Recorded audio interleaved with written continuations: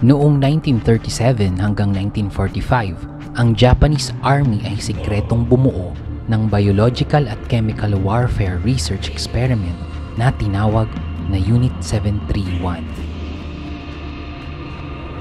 Ang subject ng experiment ay mga bilanggo o prisoners ng Japan, kabilang ang mga bata, sanggol, matatanda, pati na ang mga buntis. Ating alamin ang ilan sa mga brutal na human experiment na ginawa ng mga Hapon sa Unit 731.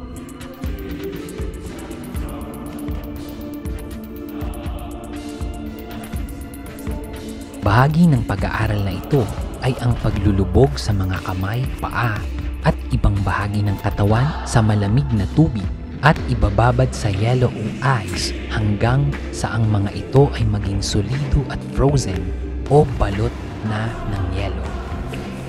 Pagkatapos ay gagamitan ito ng iba't ibang paraan para matanggal ang yelo tulad ng pagbuhos ng kumukulong tubig o pagtapat at pagbabad sa apoy at pagkatapos ay hahayaan lang ito na magdamag na dumurugo upang makita ang epekto at reaksyon ng katawan.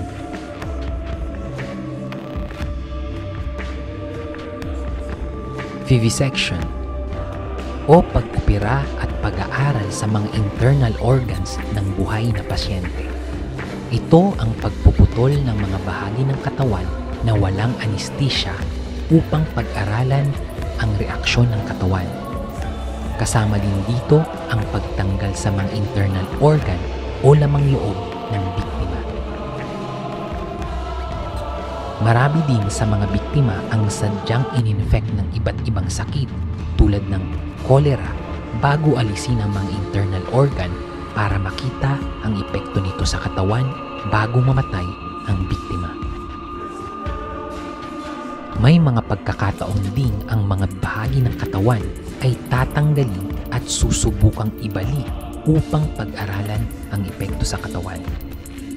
Kapag nagawa na ang mga masasakit na eksperimento ay saka lamang papatayin ng subject sa pamamagitan ng lethal injection o paglibing ng buhay.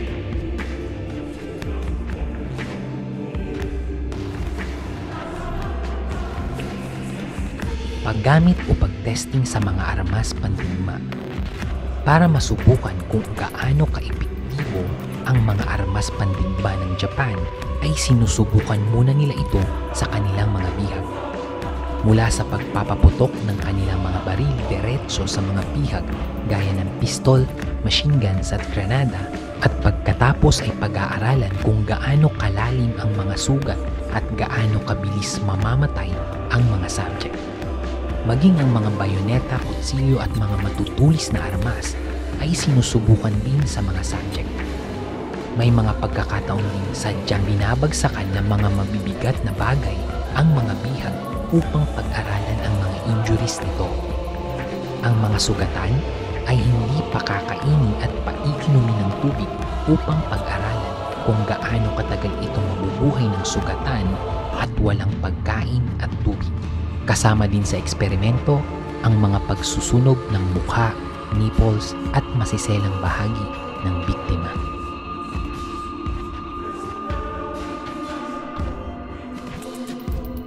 Upang mapag-aralan ang mga simptomas at treatment ng sexually transmitted disease na syphilis, ang ibang subject ay tinuturukan ng sakit at ikukulong sa isang kwarto upang obserbahan kung ano-ano ang magiging sintomas at gaano kabilis ang paglala nito. Ang ibang bilanggo ay tuturukan ng sakit at puwersahang ipagtatalik sa ibang mga bihag, lalaki man o babae, upang maobserbahan ang epekto at bilis ng transmittal nito.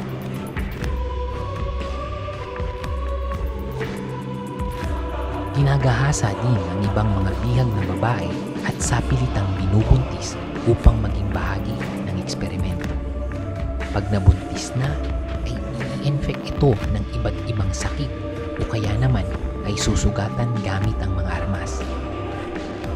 Pagkatapos ay hihiwain ang sugatang buntis upang makita at mapag-aralan ang epekto sa fetus.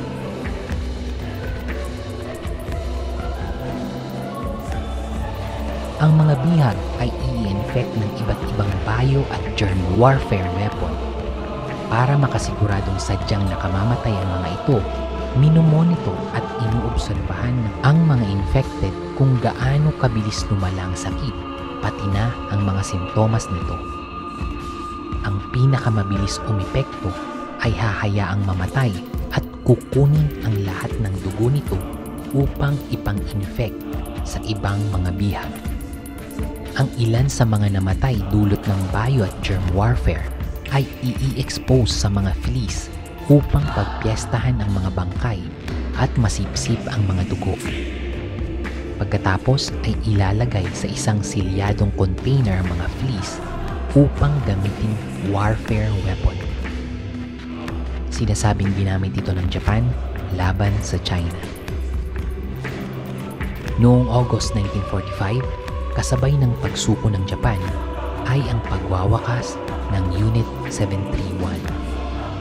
Pagamat ang lahat ng files at dokumento ng eksperimento ay sinunog upang hindi mapakinabangan.